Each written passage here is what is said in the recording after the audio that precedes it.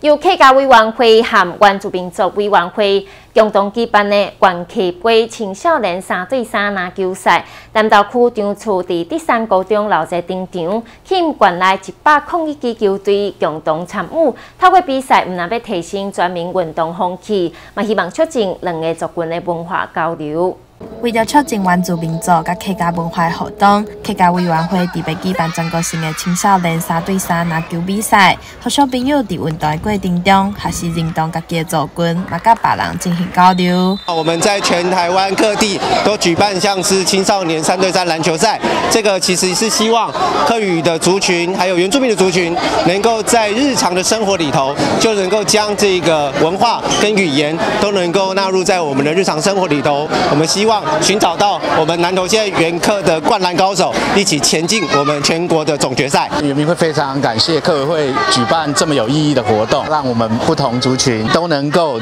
在这个运动的过程中促进彼此的交流，学习彼此的优点。南投区的比赛是吸引了一百零一支队伍报名参加，最后得到胜利的队伍将代表南投县参加全国比赛，大家拢尽全力地球场上拍拼。呃，我们今年度啊，总共有一百零一队啊，可以说是非常呃的坚强的阵容哦，让青少年朋友他们呢啊可以从小就一起来濡染这种呃这个族群的融合。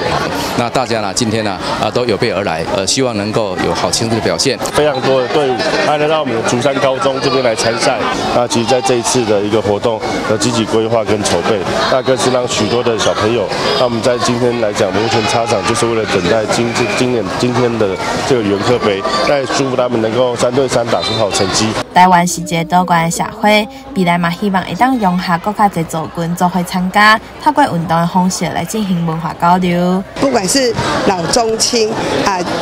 都要对于运动要有有所投入。那也欢迎大家一起来投入所有的运动。我想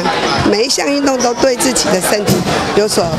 帮助的。那我们也希望呢，这种赛事呢，未来我们能够在多元化的、更多的族群，包括新住民，我们也可以融合在一起，对我们整个台湾的多元文化是非常有帮助的。透过办理比赛，不只是提升地方的运动风气，也好小朋友在良性竞争之下依旧会有。记者陈阳差不多。